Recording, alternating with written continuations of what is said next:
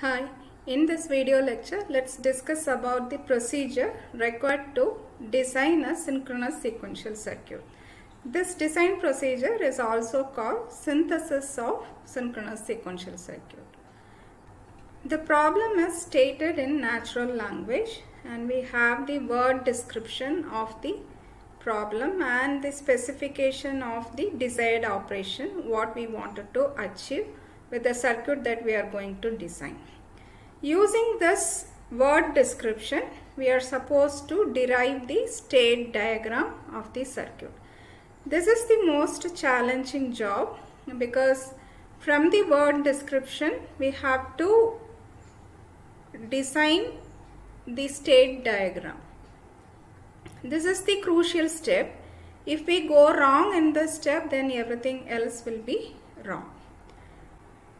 Once we have drawn the state diagram, then we can perform the step number 2.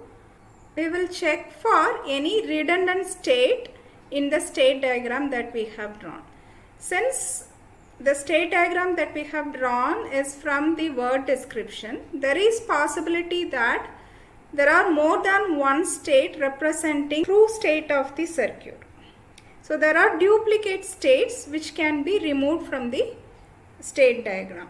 So we just check for whether any equivalent states are available in the circuit and if there are any equivalent states we are going to remove and reduce the number of states in the state diagram. Once step number 2 is over then we can assign some binary values to each of the states. So from the word description, when we draw the state diagram, the state can be distinguished from one state from the other by giving a label to it. So either I can say labels of the state as A, B, C, D as alphabets or I can say 1, 2, 3, etc. Whatever be the case, now to design a synchronous sequential circuit, each state should be represented by some binary bit patterns. So we are going to assign some binary bit patterns to each of the state uniquely. Once the states are given the binary bit patterns, using the state diagram and this binary values, we can get the binary coded state table.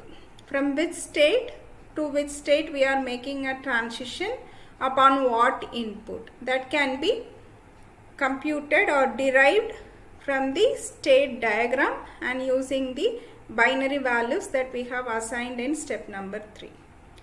Then we will choose what type of flip-flop we are going to use to design our circuit.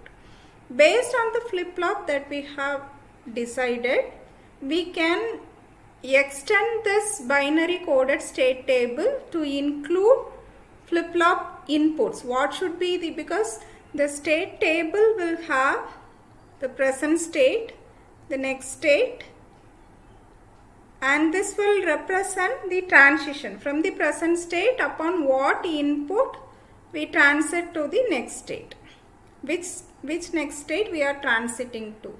That will be available in the state table and depending on the type of flip-flop that we are going to use we can additionally include flip-flop inputs that are required to make this transition. From present state what flip-flop input will make the state transit from this present state to the specified next state? Then we can derive the input equation for each of the flip-flop input we have the flip-flop input columns in the binary coded state table.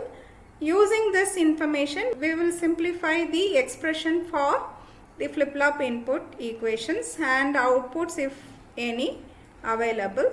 And then once these equations are with us, then we can implement the logic diagram. These are the seven steps that are in, involved in designing a synchronous sequential circuit.